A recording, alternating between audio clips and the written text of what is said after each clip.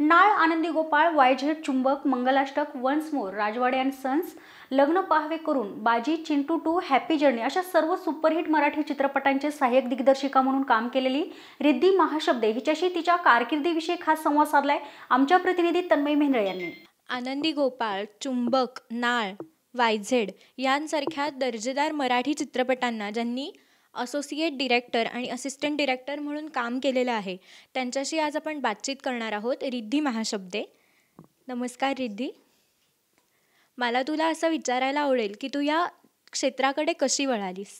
त्याबद्दल काय सांगशील? ह्या क्षेत्राकडे मी वळायचा माझा असा काही प्लॅन नव्हता. म्हणजे मी शिकवत होते. तेव्हा मला असं वाटलं नव्हतं की मी कधी या क्षेत्रात काम करू शकेन. पण मी पुणे युनिव्हर्सिटीमध्ये जेव्हा शिकत होते मी व्हिडिओ प्रोडक्शनमध्ये मास्टर्स डिग्री करत होते. त्या अभ्यासक्रमाचाच एक भाग म्हणून आम्हाला एक महिन्याची इंटर्नशिप करणं गरजेचं होतं. तर ती मी आय एम ईकडे म्हणजे चिंटू टू ह्या सिनेमासाठी श्रीरंग ओडबुले यांच्या दिग्दर्शकाकडे हां इंडियन मॅजिक आयकडे मी. त्या संस्थेमध्ये जाऊन मी ती इंटर्नशिप केली होती. त्यानंतर मग मला थोडंसं त्याच्यात एक्सप्लोर करावं असं वाटलं आणि आवड निर्माण झाली आणि मग मग कामातनं मला एकातनं एक संधी मिळत गेली आणि मी इतक्या फिल्म्स करू शकले. आतापर्यंत तू कोणत्या चित्रपटांचं दिग्दर्शन केलं आहेस? त्याविषयी काय सांगशील? माझ्या या जर्नीमध्ये मी सुरुवातीला असिस्टंट डिरेक्टर म्हणून काम करत होते. त्यामध्ये सगळ्यात पहिले मी ज्या प्र सांगितल्याप्रमाणे चिंटू टू नावाच्या सिनेमासाठी पहिल्यांदा काम केलं. त्यानंतर लग्न पहावे करून त्याचे दिग्दर्शक अजय नाईक होते. त्यानंतर मंगलाष्टक वन्स मोर. समीर जोशी त्याचे दिग्दर्शक होते. त्यानंतर हॅपी जर्नी सचिन कुंडलकरांची फिल्म आहे.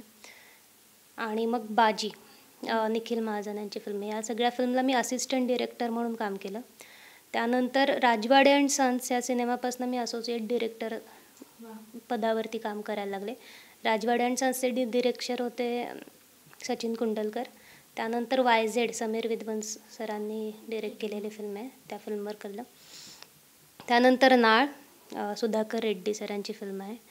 आणि मग आनंदी गोपाळ पुन्हा एकदा समीर सरांसोबत मी काम केलं. त्यानंतर चैतन्य तामाण्याची एक फिल्म सध्या ये प्रोसेसमध्ये आहे. तर शा भारतीय शास्त्रीय संगीतावरती त्यांनी फिल्म केली आहे. त्या फिल्मवरती मी थोडे दिवस काम करत होते. आणि रिसेंटली मी पॉंडेचेरी नावाच्या एका फिल्मवरती काम केलं. मला तुला तेच विचारायला आवडेल की तुझे आगामी प्रोजेक्ट्स काय आहेत? आणि त्यानंतर आनंदी गोपाळविषयीचा अनुभव तू काय सांगशील? आगामी चित्रपटांमध्ये माझी चैतन्य तामाणे या दिग्दर्शकासोबत एक फिल्म माझी म्हणजे मी त्याला मदत करायला गेले होते. तर मी याचं उत्तर परत देते सॉरी ओके आगामी चित्रपटांमध्ये मी सांगू शकेन की चैतन्य तामाणे या दिग्दर्शकाची एक फिल्म येते भारतीय शास्त्रीय संगीतावरती. त्या फिल्मवरती मी थोडे दिवस काम केलं. आणि सचिन कुंडलकर पॉंडिचेरी नावाची एक फिल्म डिरेक्ट करत आहेत तर त्या फिल्मसाठी मी जस्ट आत्ता शूट संपवून आली आहे तर हे दोन चित्रपट माझे येतील. आणि आनंदी गोपाळचा अनुभव माझं बऱ्यापैकी माझी खूप जास्त डेव्हलपमेंट झाली या फिल्ममध्ये मी गेले दोन वर्ष ह्याच्यावरती काम करत होते.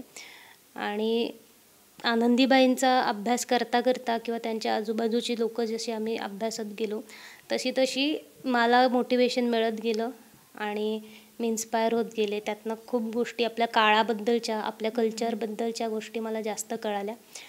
आणि तर ह्या गोष्टी माहीत असणं माझ्यासाठी किती गरजेचं होतं हे मला कळलं आणि ह्याचा मला खूप जास्त उपयोग होतो आहे आणि आनंदीबाई यांच्यावर तुम्ही जो आनंदी गोपाळ चित्रपट काढलात तर त्यासाठी काही पुस्तकं किंवा काही कादंबरी उपलब्ध होती का? किंवा कसा साधारण तो प्रवास होता एक दिग्दर्शिका म्हणून? त्याविषयी तू काय सांगशील? दिग्दर्शनासाठी उपयुक्त ठरण्यासाठी आम्ही जो रिसर्च केला त्याच्यामध्ये श्रीजा जोशींची एक कादंबरी आनंदी गोपाळ नावाचीच ती आम्ही वाचली होती. त्यानंतर अंजली कीर्तने ह्यांचं काळ आणि कर्तव्य नावाचं एक पुस्तक बाजारात अवेलेबल आहे. त्यांनी ते खूप डॉक्युमेंट चांगली डॉक्युमेंटेशन केलेलं आहे त्यांनी. ते कथारूपात नाही आहेत पण त्यांनी सगळ्या घटना व्यवस्थित डिटेलमध्ये लिहिलेल्या आहेत. त्यानंतर आम्ही बरेचसे कागदपत्र त्यांच्या म्हणजे टिळक होते आजूबाजूला किंवा टागोर होते किंवा अजून पंडिता रमाबाई रानडे होत्या सावित्रीबाई होत्या ह्या सगळ्यांबद्दल आम्ही वाचलं. त्या काळातले पेपर्स आणि त्यांचं काय काय कवर केल्या होत्या त्या गोष्टी पाहिल्या. मला असं विचारायला आवडेल की आनंदी गोपाळ या चित्रपटाकडे मी सारखी येते कारण तो अजूनही थिएटरमध्ये खूप गाजतो आहे. तर आनंदी गोपाळ या चित्रपटाविषयीच्या शूटविषयीच्या काही आठवणी तुला आमच्या दिनमांबरोबर शेअर करायला आवडतील का? या आनंदी गोपाळचं सगळ्यात मोठ महत्त्वाचं एक मुद्दा असा होता की त्याचा काळ आपण अठराशे पंच्याऐंशी दाखवत होतो. तर आज ते फिल्म शूट करणं हे खूप जास्त चॅलेंजिंग होतं कारण अठराशे पंच्याऐंशीमध्ये पत्रे नव्हते रबर नव्हतं कुठल्या प्लास्टिक नव्हतं.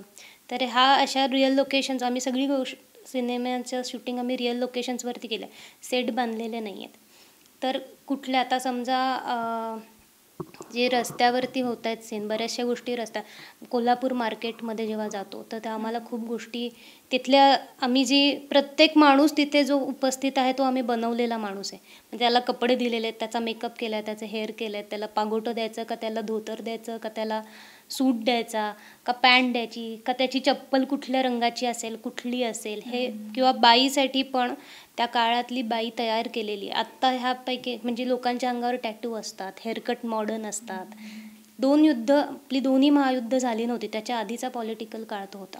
त्यावेळी इंग्रजांचे आणि आपले संबंध चांगले होते किंवा मुस्लिम आणि आपल्यात संबंध खूप चांगले होते. तर ही सगळी सामाजिक आम्हाला सगळं उभं करण्यासाठी आम्ही जेव्हा मार्केटमध्ये गेलो तेव्हा ही जो लोकं होतीच त्याच्यानंतर वायर्स होत्या खूप जास्त.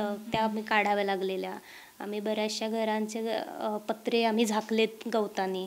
किंवा खूप ठिकाणी पारावरती पण आपल्या इथे सिमेंट केले तर आम्ही सगळे मातीने लेपलेत.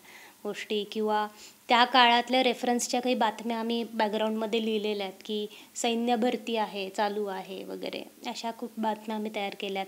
किंवा बैलगाड्या आत्ताच्या आपल्याकडे मेटलच्या आहेत त्यावेळी लाकडी असायच्या तर बैलगाड्या बनवल्या गेल्या.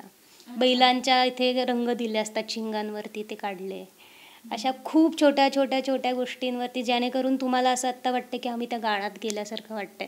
तो काळ आम्ही अख्खा तयार केला. तो आम्ही सगळे हे भारतात शूट करताना.